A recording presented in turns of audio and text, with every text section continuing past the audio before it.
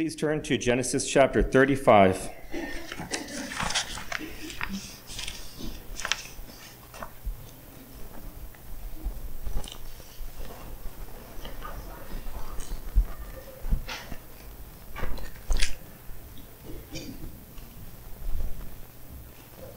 We're going to begin where we left off on the last chapter. In the last chapter, Simeon and Levi had just killed all the people, all the males around them. And Jacob was afraid that the people around were going to retaliate for the sake of all those and all the Shechemites, all those, all the men of Shechem that were killed. And this chapter begins right after that. We're going to look at this chapter in three parts. We're looking at the whole chapter. It's a long chapter. I'm, I'm dividing it into three parts. The first one is going to be the journey back to Bethel. The next one is going to be God meets with Jacob. And then the third one is going to be death. It's going to cover the issue of death, Reuben's sin, and, and the closing of the generations of Isaac. So let's look at the first eight verses right now. Genesis chapter 35, verses 1 through 8. Then God said to Jacob, Arise, go up to Bethel and dwell there and make an altar there to God who appeared to you when you fled from the face of Esau your brother. And Jacob said to his household and to all who were with him, Put away the foreign gods that are among you. Purify yourselves and change your garments. Then let us arise and go up to Bethel. And I'll make an altar there to God who answered me in the day of my distress, and has been with me in the way which I have gone. So they gave Jacob all the foreign gods which were in their hands, and the earrings which were in their ears, and Jacob hid them under the terebinth tree which was by Shechem. And they journeyed, and the terror of God was upon the cities that were all around them. And they did not pursue the sons of Jacob. So Jacob came to Luz, that is Bethel, which is in the land of Canaan, he and all the people who were with him. And he built an altar there and called the place El Bethel, because there God appeared to him when he fled from the face of his brother. Now Deborah, Rebekah's nurse, died, and she was buried below Bethel under the terebinth tree. So the name of it was called Allon Bachuth. Let's pray. Father, we thank you for your word. We thank you for the privilege, the privilege of all privileges, to have your word here with us, that we can read it, we can know your word, we can hear from you. And Lord, You've given us your Holy Spirit to be able to understand it. Father, thank you for your word and thank you for your spirit. Please be with us this morning. Please work in our hearts and Father, please please touch those who don't know you. Save them, we pray in Christ's name. Amen.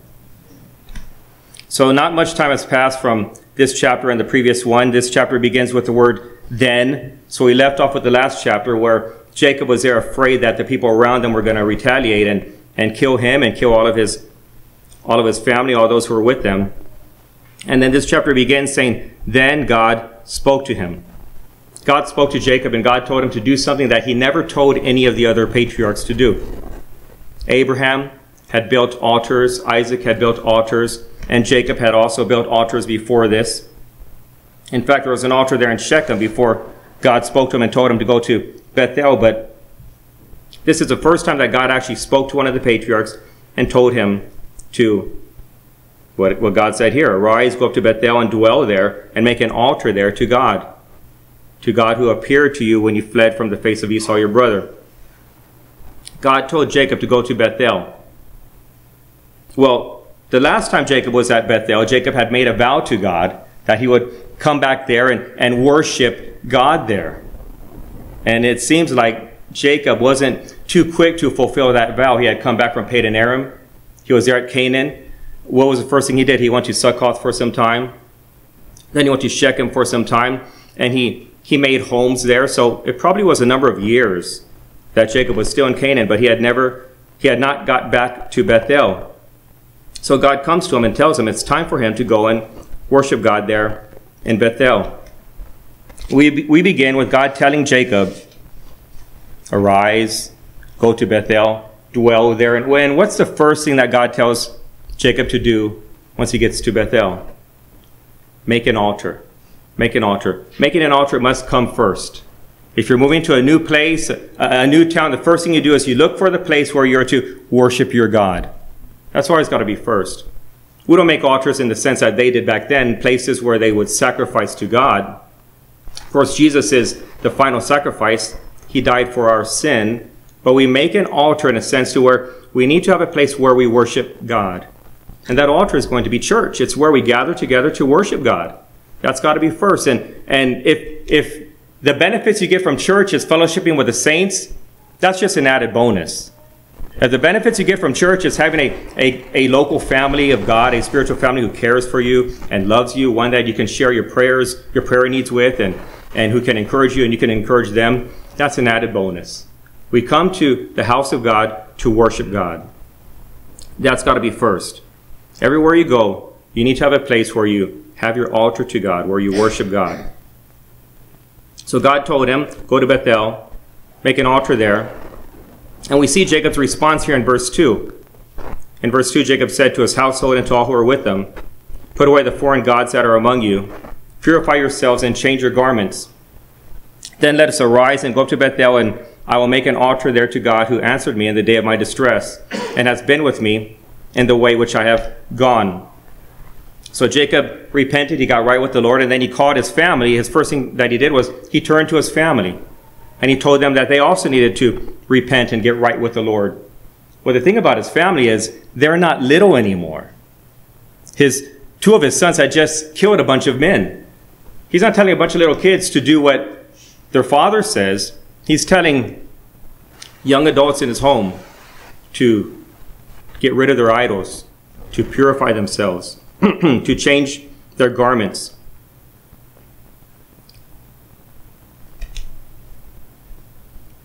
He said, change your garments. And, you know, we can look at that and we can wonder what that means because there really isn't much more that's told us in, in the text about what that means.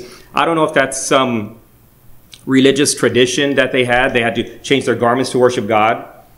We're not told that, but at face value, what we see there is whatever they were wearing was inappropriate for their new life in Bethel.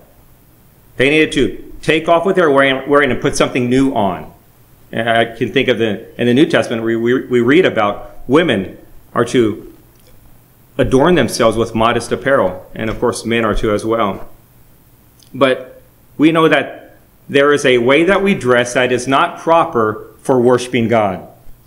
A way that we dress that is not proper for people who, who, who know God. We can even say when we come before God in worship, we, what, what we wear matters. This notion that people say, well, my spiritual life uh, should not affect how I dress or how I can dress however I want to and be a, be a Christian. How I dress should not affect my spiritual life. That is wrong. Uh, we, we see here, we don't know exactly what they were wearing that was wrong, but we know that they had to change their garments in order to come before God and worship God. The idolatry was obvious. That was in their home. They had to purify themselves and change their garments. Uh, what, what Jacob is calling here for of his family was a complete repentance. The obvious that was seen and also the, the underlying hidden areas of, of their lives, it all needed to be repented of. Jacob was fearful. It could have been why he was dilly-dallying in Shechem and in Succoth because he was concerned that going to Bethel meant that there needed to be a, a change in the way that they were living. And also another thing was that Jacob had to admit that he knew about the idols. There was idolatry in his household, and he had to admit that it was there. We know that Rachel, when they left Padan Aram, she stole her, her father's idols. But now it had spread. It had spread to the rest of the household. Now his whole family has this idolatry. Also, in the previous chapter, when Simeon and Levi had killed all those in Shechem, they plundered the household, so they could have grabbed more idols there.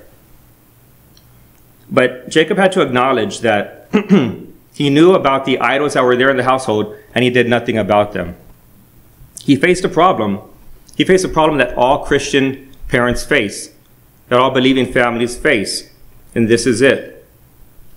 How can I, how can I address my children about their sin when I have proper when I have failed to properly deal with my own sin in the past or even recently How can I address my family about sin that I've allowed to be there for so long? Will they listen to me? Uh, will, will, I, will I come off as a hypocrite? And those thoughts tempt believing parents to just put off dealing with sin in their household. They think that it's too difficult of a situation to deal with. They put up with it for too long. So now it's too late for them to even try to address it. Parents dealing with their children's sin, or even a husband with his wife's sin, or a wife with her husband's sin. But we see here that Jacob wasn't being a hypocrite and talking to his family about their sin, even though he had allowed it to be there for so long. We, we can look at what happened here. What, what, what happened? The word of God came to Jacob and dealt with him about an area in his life that he was allowing to go on, a, a, a sinful pattern in his household. The word of God came to Jacob. He got right with the Lord. He repented of it. Then he went to his family to deal with it. Of course, it could have, they could have disobeyed their father, but the Lord dealt with his family as well. And what did they do? They handed over the idols. You know, sometimes we can overthink these things and we can look at our situation that we're dealing with and we can think something is too hard for us to deal with even in our homes, even in, in something so close, so intimate as, as our home life, and we don't want to deal with it. But that's where we need to trust in the Word. Most of all, trust in the God of the Word. And as we look at what God, what God did here was God impressed upon Jacob what he needed to do. He told his family what they needed to do after he got right with the Lord. And there they go to Bethel, following the Lord, obedient to the Lord. Yes, it doesn't always work this way, but we need to trust God and we need to acknowledge in this situation it worked. In this situation, God helped Jacob to do what was right. Look at the response of Jacob's family there in verse 4. They gave Jacob all the foreign gods which were in their hands, and the earrings which were in their ears. And Jacob hid them under the terebinth tree which was by Shechem. Do you remember what these idols were called when Rachel stole them from her father back in Padan Aram right before they left? Right here, right here, Jacob calls them foreign gods. Are they called in Padan Aram? Household idols. Household idols. This is a more fitting for them, though, a more fitting name for them. Foreign gods. You think about a household, a household idol, you look at it, you think, well, that's not so scary. Little statue, little trinkets. How could people worship those things?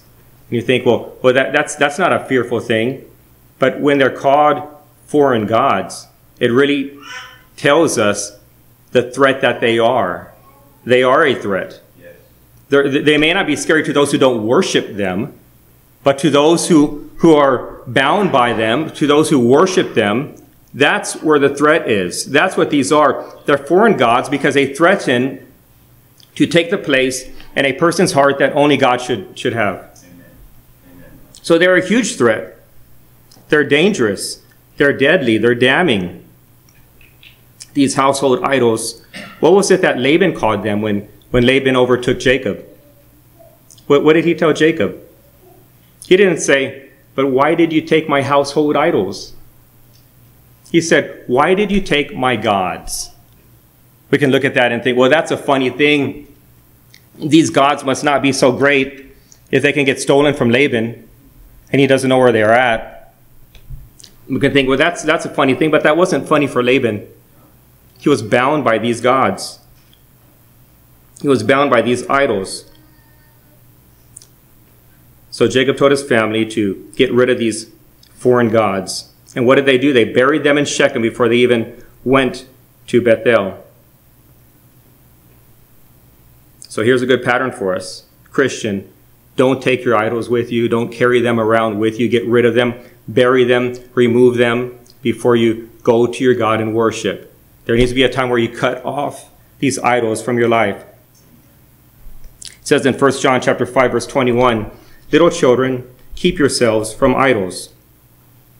And your idols are whatever you put in your heart where only God should be. Whatever takes hold of your heart, of your thoughts, of your emotions, whatever you spend your money on, whatever you spend your time on. Well, let's keep reading here and starting in verse 9.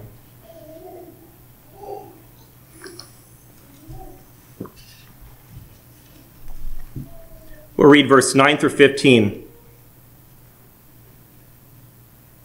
Then Jacob appeared to him again when he came from Padan Aram and blessed him. And God said to him, Your name is Jacob. Your name shall not be called Jacob any more, but Israel shall be your name. So he called his name Israel. Also God said to him, I am God Almighty. Be fruitful and multiply. A nation and a company of nations shall proceed from you, and kings shall come from your body. The land which I gave Abraham and Isaac I give to you, and to your descendants after you I give this land. Then God went up from him in the place where he talked with him.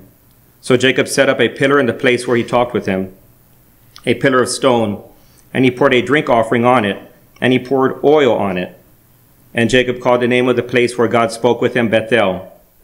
So this appearance here of God is similar to the, the last time when God wrestled with Jacob that night that last time when God wrestled with Jacob in Peniel. It's similar to that time, but it's not the same time. Because the last time was in, Pen, was in Peniel, but this time is here in, in Bethel. And then also it says there in verse 9, then God appeared to Jacob again. Again, this is another appearance of God. How many times did God appear to Jacob? How many times did God meet with Jacob? What do you think? How many times do you remember God meeting with Jacob? Well, that first time was in Bethel. and then God went to Padan, and then Jacob went to Padan Aram, and Jacob speaks to his, his wives, Rachel and Leah, and tells them that God had spoke to him in a dream. And then when they leave from Padan Aram and, and um, God speaks to him again in Peniel, or meets with him and wrestles with him in Peniel, uh, Jacob meets with, or angels meet with Jacob in Mahanaim, God spoke to Jacob at the beginning of this chapter. That would have been sometime before he got to Bethel. And then here, God meets with him again while he's in Bethel. So repeatedly, Jacob is having these encounters with God and even with, with angels. And we can almost think, well, when am I going to have some experience like this? Is God going to meet with me like God met with Jacob? Well, God doesn't meet with another one of his people until hundreds of years after this, when God meets with, with, uh, with Moses in the burning bush. So this is the last time that we see that God met with Jacob. And the last time that God meets with any of his people for hundreds of years.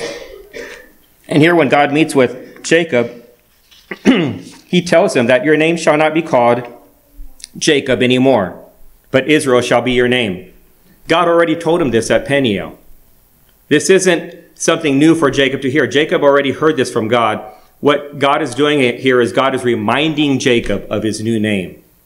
He's reminding Jacob of his, of his new name and his new identity. With the new name comes a new identity. Jacob, you're not the same Jacob that you used to be. You're not the same supplanter. You're not the same heel grabber that you used to be. You're now prince with God. You're now a new person with a, with a new identity. And it's the same thing for us as God's people. Christian, you're not the same old, old sinner that you used to be. Amen. You're the excuse me, you're, you're, you're a saint now with God. We think, we can think, how many times do we need to be reminded of that? How many times do we need to be reminded? I'm not the same old sinner I used to be. I'm now a, a saint with God. Well, as many times as we forget. We forget that, we need to be reminded of that. And here, Jacob had a meeting with God, and God reminded him of this.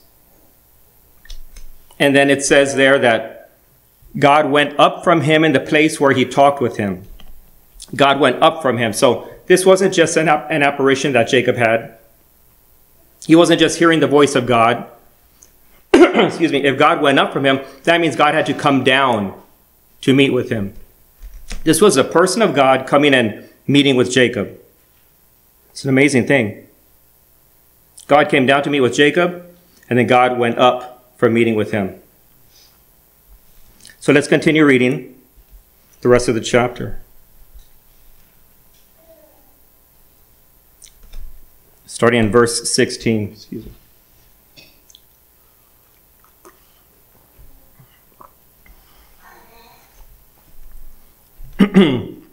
verse 16, we'll read the rest of the chapter. Then they journeyed from Bethel, and when there was but a little distance to go to Ephrath, Rachel labored in childbirth, and she had hard labor. Now it came to pass when she was in hard labor that the midwife said to her, Do not fear, you will have this son also. And so it was as her soul was departing, for she died, that she called his name Ben Oni, which means son of my sorrow. But his father called him Benjamin, son of my right hand. So Rachel died and was buried on the way to Ephrath, that is Bethlehem. And Jacob set a pillar on her grave, which is the pillar of Rachel's grave to this day. Then Israel journeyed and pitched his tent beyond the Tower of Eder. And it happened when Israel went, when Israel dwelt in that land, that Reuben went and lay with Bilhah, his father's concubine. And Israel heard about it. Now the sons of Jacob were twelve. the sons of Leah were Reuben, Jacob's firstborn, and Simeon, and Simeon, Levi, Judah, Issachar, and Zebulun. the sons of Rachel were Joseph and Benjamin. The sons of Bilhah, Rachel's maidservant, were Dan and Naphtali. And the sons of Zilpah, Leah's maidservant, were Gad and Asher. These were the sons of Jacob who were born to him in, in Padan Aram. Then Jacob came to his father Isaac at Mamre, or Kirjath Arba, that is Hebron, or Abram, where Abraham and Isaac had dwelt. Now the days of Isaac were 180 years. So Isaac breathed his last and died, and was gathered to his people, being old and full of days. And his sons Esau and Jacob buried him. So even though this chapter covers a spiritually healthy time in Jacob's life, it is also full of death. Death and a grievous act of sin, his oldest son's sin, his Reuben's sin. So we have three deaths here. The first one is there in verse 8. verse 8 says, Now Deborah, Rebekah's nurse, died, and she was buried below Bethel under the terebinth tree. So the name of it was called Allon Bachuth, De- this is Deborah, this is Rebecca's nurse. It's interesting that nowhere in the book of Genesis or nowhere in the scriptures do we see about Rebecca's death, but we see her nurse's death mentioned here. And this wasn't just some random person in, in Jacob's tribe. Somehow, Deborah had become a part of Jacob's, Jacob's tribe, of Jacob's group of people. She was Rebecca's nurse, his mother's nurse, so she would have nursed Jacob since he was a baby. He had known her all of his life. And she was actually a, a, a dear person in his tribe. She was very loved by, by the people, very loved by Jacob, very loved by all the people there, very appreciated, very respected. We know that because of what they called the place where she was buried. Allon Bachuth. It means terebinth of weeping. the second death is there in verses 16 through 18.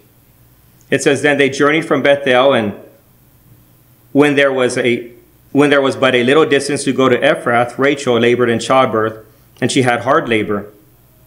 Now it came to pass when she was in hard labor that the midwife said to her, Do not fear, you will have this son also. And so it was, as her soul was departing, for she died, that she called his name Ben-Oni but his father called him Benjamin. Rachel's death was, of course, very difficult for her husband to deal with. He had, he had, this was a wife that he loved. This was a wife that he had worked 14 years for. Hmm.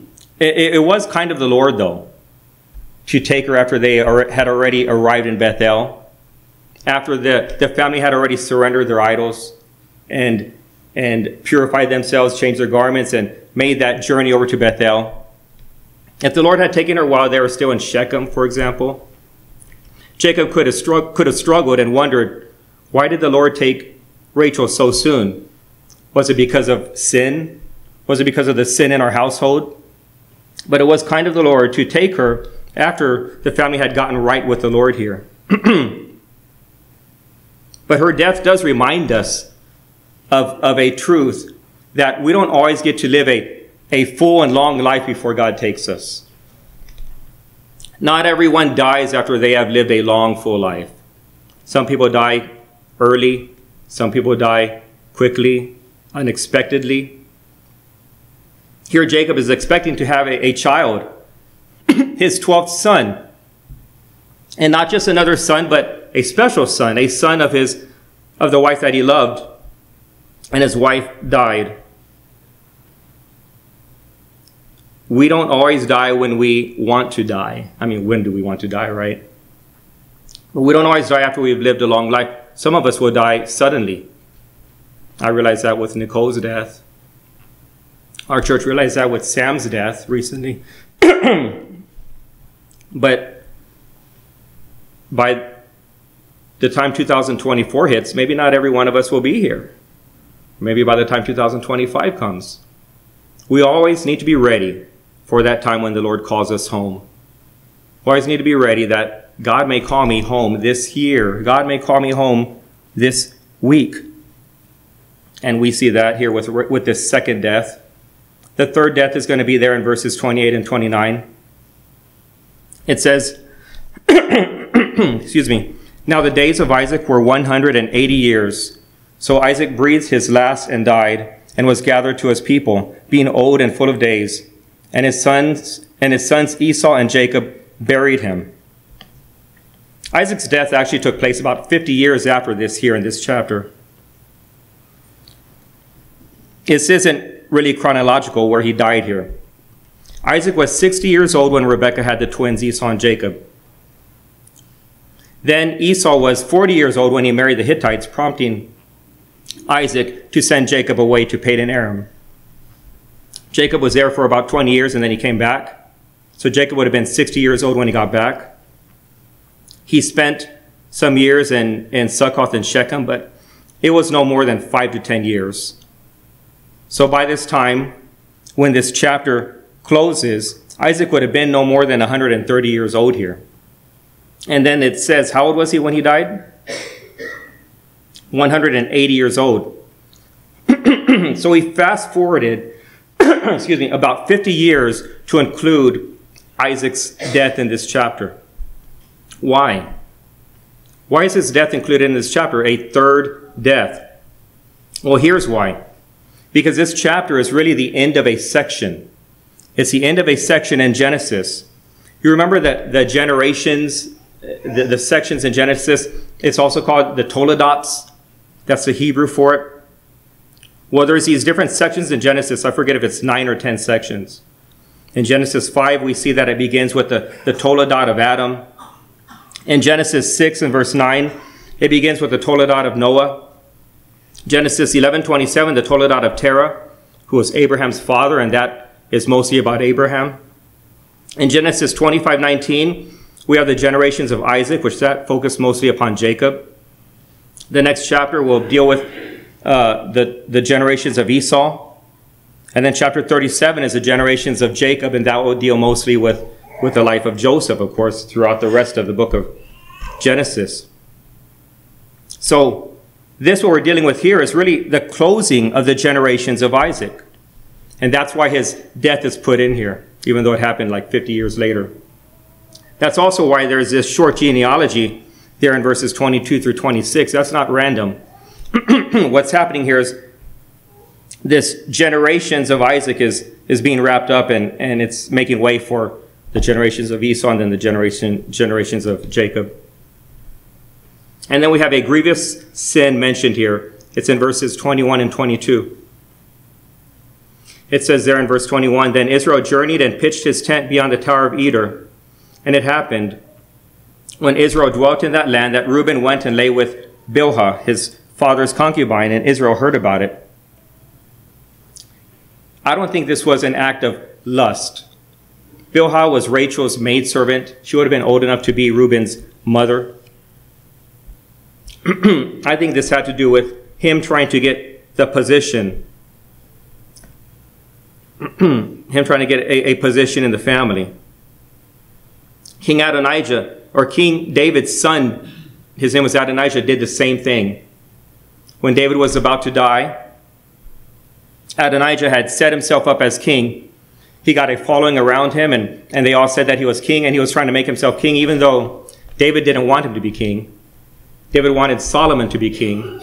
So in response to what Adonijah was doing, David went and quickly had Solomon ordained to be king. Well, Solomon had mercy upon Adonijah. He didn't have him killed. And then after David died, Adonijah was still trying to be king. What he did was he requested for Abishag the Shunammite to be his wife. Well, Abishag the Shunammite was one of David's concubines. They weren't intimate together because David was so old when she was his concubine, but she was his concubine. And Adonijah did this in a sneaky way by asking for Abishag through Bathsheba, Solomon's mother. Solomon's answer to Bathsheba was, this was his answer. Now, why do you ask Abishag the Shunammite for Adonijah? Ask for him the kingdom also, for he is my older brother. So he was already a threat to take the throne because he was older than Solomon. And then now he was also seeking David's concubine as his wife, which would add, which would just have increased his ability to take over the throne. And then what did Solomon end up doing to Adonijah there? Do you remember? Well, he had him killed. He had him killed. That was the, the last straw. And this was this was a similar event with Reuben. Reuben was the oldest, and he was sure to get the birthright, and he probably was just trying to secure the birthright before his father had even died. Of course, this backfired him, backfired on him. the birthright didn't go to him; it went to Joseph instead. We read that in 1 Chronicles chapter 5 and verse 2. Another thing we see here with these deaths is that there is a, a progression that we see here. A progression. The first death, of course, is there in verse 8. Verse 8 simply says that Deborah died and she was buried. Well, this is what all atheists believe. We die, we buried, and, and that's it. We're, we die and we're, and we're gone after we're buried. All life has to do with is this life here. Nothing else matters other than what we, what we do here. So live it up. There's no judgment to come. There is no eternity. There is no God who we're going to be judged by. That's the first death. Deborah died and was buried. The second death is in verse 18. It says about Rachel that her soul was departing, for she died. So now we know we go somewhere. This isn't the end. The third death is in verse 29 it says about Isaac that he died and was gathered to his people. So we know that this isn't the end of our life. Death is a extremely difficult thing for us to deal with. It's the ending of this life. It's, it's, it's the ending of all the relationships that we have. Uh, we understand it's extremely difficult, even for those who know the Lord. It, it is an entire change. You go from this address to another address, and you'll never come back here and You'll never see those again over there. Or if you do, if they're in glory, you don't, we don't even know each other the same as we know each other now. Our Lord said we'll be like the angels in heaven. So it can be difficult, very difficult. But we know that for those who know God, this isn't the end. This isn't the end of our lives. This isn't the end of our, our loved one's life. They're departing and they're going somewhere. They're going somewhere to be far better than here. They're going to be with Jesus Christ. Jesus said, I go and prepare a place for you. If I go and prepare a place for you, I'll come again and I'll receive you, that where I am, you may be with me also. They're also going to, to be gathered with the rest of God's people. And, and, and that is where all you know is complete goodness, joy unimaginable, joy unspeakable, we can think, well, all, all I know about is just this body, the, the first kind of death. when I die, I'll be buried and that's it. We put too much thoughts upon these bodies that God has given us, even though these bodies are temporary. When we die, our soul goes, leaves these bodies and goes and departs and goes somewhere, either in eternity in hell for those who don't know the Lord or to be with Christ forever for those who do. But, but then we read that God gives us new bodies. So we can wonder, why do we put so much attention, so much time on these bodies, even though these are temporary, when we're going to live forever and ever and ever, especially those who know the Lord, when God's even going to give us new bodies, spiritual bodies, these bodies are going to be replaced. It's not that this is the only body we're going to have, brother and sister. It's not that this is the only body that we're going to have and we're just going to be spirits for all eternity. We're actually going to have bodies then that replace these bodies. Bo- and, and, and not to mention bodies that don't get sick anymore, bodies that don't get weak anymore. There's going to be no more sorrow, no more sickness, no more death. Yes, death is a very difficult thing to deal with. And it, it, it always is. But when I think about the verse that says, Death, where is your sting? For the Christian, will be with Christ, will be like Jacob, gathered to his people. And we see that in this chapter. As difficult as death is to deal with, it's not the end. So, a few things as we wrap up. A few things that we see here about God. Uh, one thing is the first thing is that we see that God is faithful. Every time we look at God's people, we're going to see the faithfulness of God. And this is another case. God is faithful.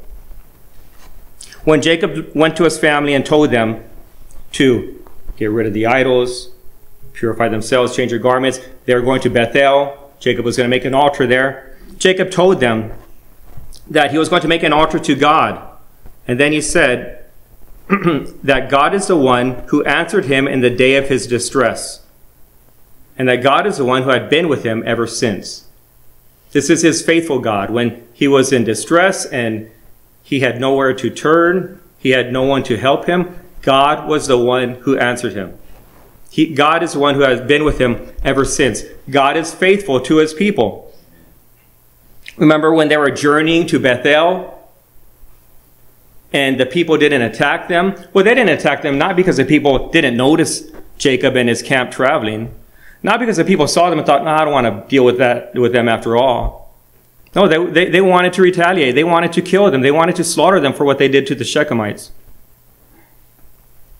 But they didn't. Why didn't they? Because God put what is called the terror of God upon the cities that were all around them. There was this terror upon the people. So when Jacob and his group of people were traveling, they didn't look very scary. Yeah, his son, I mean, they, they weren't wimps, right? His sons killed all, all, all the men while they were all wounded and recovering from surgery. But this wasn't like Jacob's brother traveling with the 400 men. Now, they would have looked very scary. This is Jacob's people traveling and the terror of God was upon those around them. Again, the faithfulness of God, the protecting care of God upon Jacob. The safest place for any one of us to be is right where God wants us to be. It doesn't matter where that is. It doesn't need to be out in the country. It doesn't need to be where nobody locks their doors. It doesn't need to, need to be the place with the lowest death rate. The, the safest place for the Christian to be is right where God wants him to be. That's why we have a missionary in Lebanon who's unsure if he should head back to the States. Because he knows that God told him to go to Lebanon, but he's not so sure that God told him it's time to leave there because of the danger. And that's the way it is for every single one of us. The safest place for you and me to be is where God wants us to be. And don't move from there until God has told you to, until you're sure that God has led you to. we also see that God also restored Jacob and Esau's relationship. Remember that, that Esau had said that he was going to kill Jacob after their father had died out of respect for the father? Once their dad was going to die, he was planning to kill Jacob. Well, their father died, and he no longer wanted to kill Jacob. So God dealt with his heart. Even though he wasn't saved, even though he never repented and turned to the Lord, God still dealt with Esau's heart. And their relationship was restored. Another thing we see of God is that he patiently reminded Jacob to go back to Bethel.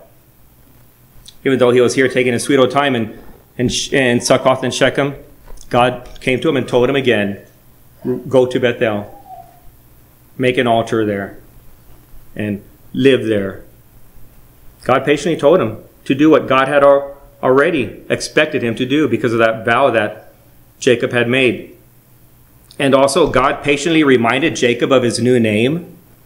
He had already told him that new name. And, and the thing is, he wasn't always living up to that name.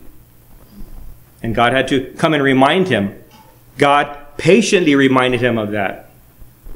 If we have to remind someone to do something that we already told them to do, we don't like to do that. We think, why do I have to remind so and so to do this? I already told him this. I already told her that. Sh- shouldn't she have heard, heard me and obeyed me the first time? She doesn't know who I am. I shouldn't have to re- remind, remind them. I shouldn't have to say this again. Well, we're that way because we're impatient, and because we're not humble, and because we're arrogant, because we think we're more than we really are. That's why we are that way. But God is not that way. If anyone should be listened to, if anyone shouldn't have to remind us and shouldn't have to tell us more than once, it's God. But God is patient with his people. There in verse 11, God calls himself, I am God Almighty. God Almighty. And then he tells them about how he needs to go and multiply and, and, and fill the land of Canaan, basically. I am God Almighty. There we see that there is nothing that is too hard for our God. There's nothing that God cannot do. There's nothing that is impossible for God. Jesus said, with man this is impossible, but with God all things are possible. There is nothing that your God cannot do. And when a Christian knows that and believes that and knows that to be true, he's going to live differently than those who don't know that to be true. Christian, there is nothing that your God cannot do. There is nothing that is too hard for your God. You, you can't do much of anything. You're finite, you're weak. You think you can do more than you can. But there is nothing that's too hard for God. He is God Almighty. Well, let's pray.